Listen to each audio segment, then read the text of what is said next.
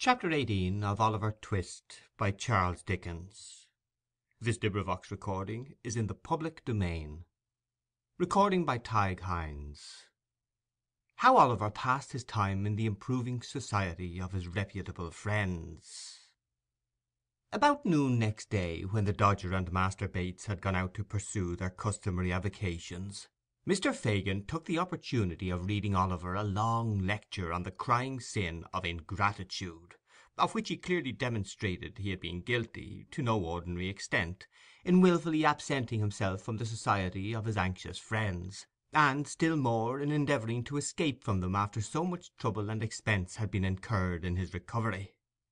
Mr. Fagin laid great stress on the fact of his having taken Oliver in, and cherished him when, without his timely aid, he might have perished with hunger; and he related the dismal and affecting history of a young lad whom, in his philanthropy, he had succoured under parallel circumstances, but who, proving unworthy of his confidence, and evincing a desire to communicate with the police, had unfortunately come to be hanged at the Old Bailey one morning. Mr. Fagin did not seek to conceal his share in the catastrophe, but lamented with tears in his eyes that the wrong headed and treacherous behaviour of the young person in question had rendered it necessary that he should become the victim of certain evidence for the Crown, which, if it were not precisely true, was indispensably necessary for the safety of him, Mr. Fagin, and a few select friends. Mr. Fagin concluded by drawing a rather disagreeable picture of the discomforts of hanging, and with great friendliness and politeness of manner expressed his anxious hopes that he might never be obliged to submit Oliver Twist to that unpleasant operation. Little Oliver's blood ran cold as he listened to the Jew's words, and imperfectly comprehended the dark threats conveyed in them. That it was possible even for justice itself to confound the innocent with the guilty when they were in accidental companionship he already knew, and that deeply laid plans for the destruction of inconveniently knowing or over communicative persons had been really devised and carried out by the Jew on more occasions than one, he thought by no means unlikely when he recollected the general nature of the altercations between that gentleman and Mr. Sikes, which seemed to bear reference to some foregone conspiracy of the kind.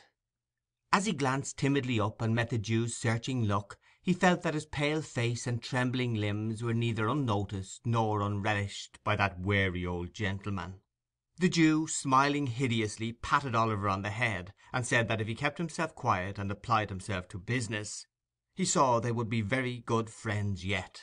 Then, taking his hat, and covering himself with an old patched greatcoat, he went out and locked the room door behind him.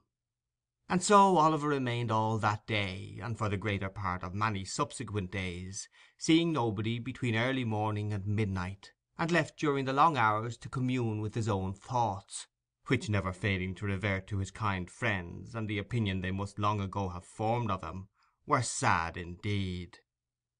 After a lapse of a week or so, the Jew left the room door unlocked, and he was at liberty to wander about the house. It was a very dirty place. The rooms upstairs had great high wooden chimney pieces and large doors, with panelled walls and cornices to the ceiling, which, although they were black with neglect and dust, were ornamented in various ways. From all of these tokens Oliver concluded that a long time ago, before the old Jew was born, it had belonged to better people, and had perhaps been quite gay and handsome, dismal and dreary as it looked now.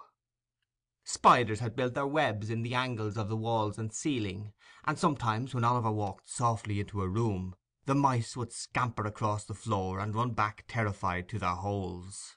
With these exceptions there was neither sight nor sound of any living thing, and often when it grew dark and he was tired of wandering from room to room, he would crouch in a corner of the passage by the street door to be as near living people as he could, and would remain there listening and counting the hours until the Jew or the boys returned. In all the rooms the mouldering shutters were fast closed; the bars which held them were screwed tight into the wood, the only light which was admitted stealing its way through round holes at the top, which made the rooms more gloomy and filled them with strange shadows. There was a back garret window with rusty bars outside, which had no shutter, and out of this Oliver often gazed with a melancholy face for hours together; but nothing was to be descried from it but a confused and crowded mass of housetops, blackened chimneys, and gable ends. Sometimes, indeed, a grisly head might be seen peering over the parapet wall of a distant house, but it was quickly withdrawn again; and as the window of Oliver's observatory was nailed down, and dimmed with the rain and smoke of years, it was as much as he could do to make out the forms of the different objects beyond, without making any attempt to be seen or heard, which he had as much chance of being as if he had lived inside the ball of St. Paul's Cathedral. One afternoon, the Dodger and Master Bates being engaged out that evening, the first named young gentleman took it into his head to evince some anxiety regarding the decoration of his person. To do him justice, this was by no means an habitual weakness with him; and with this end and aim he condescendingly commanded Oliver to assist him in his toilet straightway. Oliver was but too glad to make himself useful, too happy to have some faces, however bad, to look upon, too desirous to conciliate those about him when he could honestly do so, to throw any objection in the way of this proposal. So he at once expressed his readiness, and kneeling on the floor while the Dodger sat upon the table so that he could take his foot in his lap, he applied himself to a process which Mr. Dawkins designated as japanning his trotter cases. The phrase, rendered into plain English, signifieth cleaning his boots. Whether it was the sense of freedom and independence which a rational animal may be supposed to feel when he sits on a table, in an easy attitude, smoking a pipe, swinging one leg carelessly to and fro, and having his boots cleaned all the time, without even the past trouble of having taken them off, or the prospective misery of putting them on, to disturb his reflections, or whether it was the goodness of the tobacco that soothed the feelings of the Dodger, or the mildness of the beer that mollified his thoughts, he was evidently tinctured for the nonce with a spice of romance and enthusiasm foreign to his general nature. He looked down on Oliver with a thoughtful countenance for a brief space, and then, raising his head and heaving a gentle sigh, said, half in abstraction, and half to Master Bates, "What a pity he isn't a prig!" "Ah," said Master Charley Bates, "he don't know what's good for him." The Dodger sighed again, and resumed his pipe, as did Charley Bates. They both smoked for some seconds in silence. "I suppose you don't even know what a prig is?" said the Dodger mournfully. "I think I know that," replied Oliver, looking up. "It's a th—you're uh, one, are you not?" inquired Oliver, checking himself. "I am," replied the Dodger. "I'd scorn to be anything else." Mr. Dawkins gave his hat a ferocious cock after delivering this sentiment, and looked at Master Bates, as if to denote that he would feel obliged by his saying anything to the contrary. "I am," repeated the Dodger. "So's Charley, so's Fagin, so's Sikes, so's Nancy, so's Bet. So we all are, down to the dog, and he's the downiest one of the lot." "And the least given to preaching," added Charley Bates. "He wouldn't so much as bark in the witness box, for fear of committing himself. No, not if you tied him up in one, and left him there without wittles for a fortnight," said the Dodger. "Not a bit of it," observed Charley. "He's a rum dog. Don't he look fierce at any strange cove that laughs or sings when he's in company?" pursued the Dodger. "Won't he growl at all when he hears a fiddle playing? And don't he hate other dogs as ain't of his breed? Oh, no!" "He's a out and out Christian," said Charley. This was merely intended as a tribute to the animal's abilities, but it was an appropriate remark in another sense if Master Bates had only known it, for there are a good many ladies and gentlemen claiming to be out and out Christians, between whom and Mr. Sikes's dog there exist strong and singular points of resemblance. "Well, well," said the Dodger, recurring to the point from which they had strayed, with that mindfulness of his profession which influenced all his proceedings, "this hasn't got anything to do with young Green here." "No more it has," said Charley. "Why don't you put yourself under Fagin, Oliver?" "And make your fortune out of hand?" added the Dodger, with a grin. "And so be able to retire on your property and do the genteel, as I mean to, in the very next leap year before that ever comes, and the forty second Tuesday in Trinity week," said Charley Bates. "I don't like it," rejoined Oliver, timidly. "I wish they would let me go. I—I would rather go." "And Fagin would rather not," rejoined Charley. Oliver knew this too well, but thinking it might be dangerous to express his feelings more openly, he only sighed, and went on with his boot cleaning. "Go!" exclaimed the Dodger. "Why, where's your spirit? Don't you take any pride out of yourself? Would you go and be dependent on your friends?" "Oh, blow that!" said Master Bates, drawing two or three silk handkerchiefs from his pocket, and tossing them into a cupboard. "That's too mean, that is." "I couldn't do it," said the Dodger, with an air of haughty disgust. "You can leave your friends, though," said Oliver, with a half smile, "and let them be punished for what you did." "That," rejoined the Dodger, with a wave of his pipe, "that was all out of consideration for Fagin, 'cause the traps know that we worked together, and he might ha' got into trouble if we hadn't made our lucky. That was the move, wasn't it, Charley?" Master Bates nodded assent, and would have spoken, but the recollection of Oliver's flight came so suddenly upon him that the smoke he was inhaling got entangled with the laugh, and went up into his head and down into his throat, and brought on a fit of coughing and stamping about five minutes long. "Look here," said the Dodger, drawing forth a handful of shillings and halfpence, "here's a jolly life. What's the odds where it comes from? Here, catch hold; there's plenty more where they were took from. You won't, won't you? Oh, you precious flat!"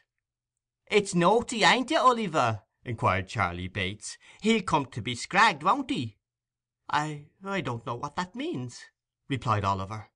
"Something in this way, old feller," said Charley. As he said it, Master Bates caught up an end of his neckerchief, and holding it erect in the air, dropped his head on his shoulder, and jerked a curious sound through his teeth, thereby indicating, by a lively pantomimic representation, that scragging and hanging were one and the same thing. "That's what it means," said Charley. "Look how he stares, Jack. I never did see such prime company as that that 'ere boy. He'll be the death of me, I know he will." Master Charley Bates, having laughed heartily again, resumed his pipe with tears in his eyes. "You've been brought up bad," said the Dodger, surveying his boots with much satisfaction when Oliver had polished them. "Fagin will make something of you, though, or you'll be the first he ever had that turned out unprofitable. You'd better begin at once, for you'll come to the trade long before you think of it, and you're only losing time, Oliver."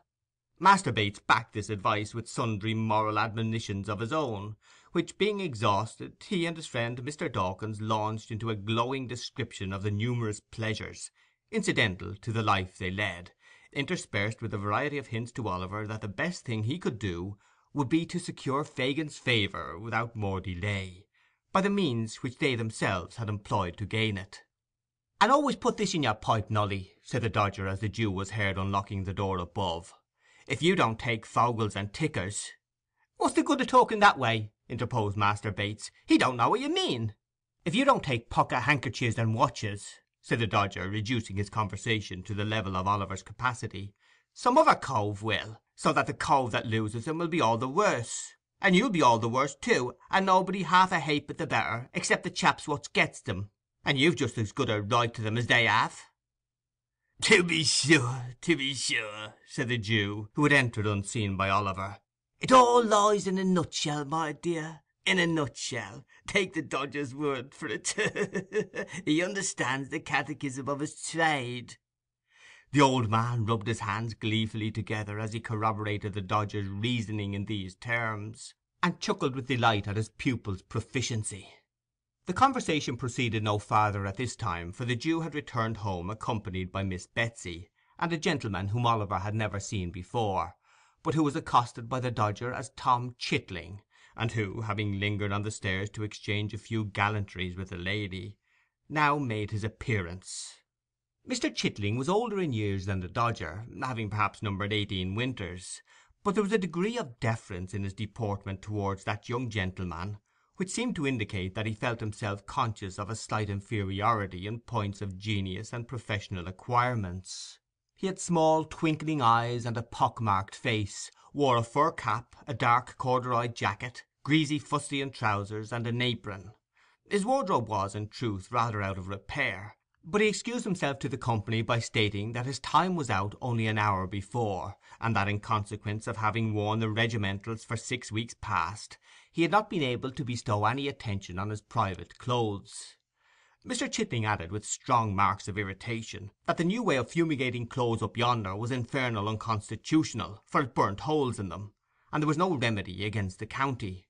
The same remark he considered to apply to the regulation mode of cutting the hair, which he held to be decidedly unlawful. Mr. Chitling wound up his observations by stating that he had not touched a drop of anything for forty-two mortal long hard working days, and that he wished he might be busted if he weren't as dry as a lime basket. "Where do you think the gentleman has come from, Oliver?" inquired the Jew with a grin, as the other boys put a bottle of spirits on the table. "I I don't know, sir," replied Oliver.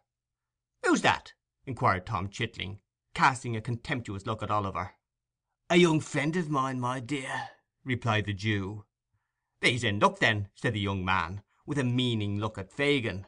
'Never mind where I come from, young un. You'll find your way there soon enough, I'll bet a crown.' At this sally the boys laughed. After some more jokes on the same subject, they exchanged a few short whispers with Fagin, and withdrew. After some words apart between the last comer and Fagin, they drew their chairs towards the fire, and the Jew, telling Oliver to come and sit by them, led the conversation to the topics most calculated to interest his hearers. These were the great advantages of the trade, the proficiency of the Dodger, the amiability of Charley Bates, and the liberality of the Jew himself. At length these subjects displayed signs of being thoroughly exhausted, and Mr. Chitling did the same, for the house of correction becomes fatiguing after a week or two. Miss Betsy accordingly withdrew, and left the party to their repose. From this day Oliver was seldom left alone, but was placed in almost constant communication with the two boys, who played the old game with the Jew every day, whether for their own improvement or Oliver's, Mr. Fagin knew best. At other times the old man would tell them stories of robberies he had committed in his younger days, mixed up with so much that was droll and curious that Oliver could not help laughing heartily, and showing that he was amused in spite of all his better feelings. In short, the wily old Jew had the boy in his toils. Having prepared his mind by solitude and gloom to prefer any society to the companionship of his own sad thoughts in such a dreary place, he was now slowly instilling into his soul the poison which he hoped would blacken it and change its hue for ever. CHAPTER XIX